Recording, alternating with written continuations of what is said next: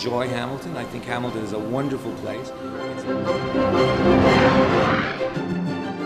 My name is Boris Brott, and I'm the artistic director and founder of Brott Music Festivals and the National Academy Orchestra of Canada. Well, it actually started out in a very small way. Uh, mayor Robert Morrow, who was at that point the mayor of the city, um, had some visitors, some royalty and some people from abroad, and he said, you know, could we do a couple of weekends of festival around the city hall?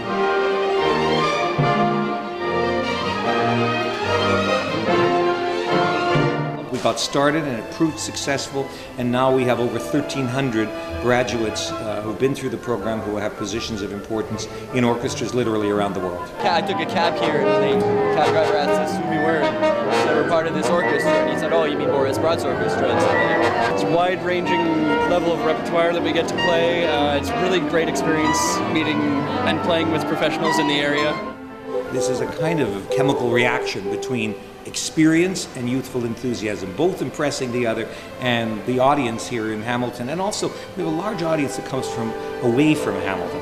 Uh, our, our, figures are, are such that I would say probably 30% of our audience is attracted to Hamilton.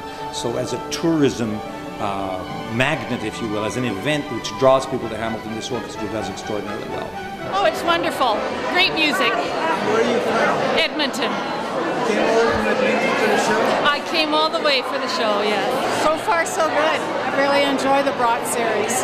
I love the variety of everything. The percussions and the big drums and the incredible violins and the songs and the voices. It's amazing.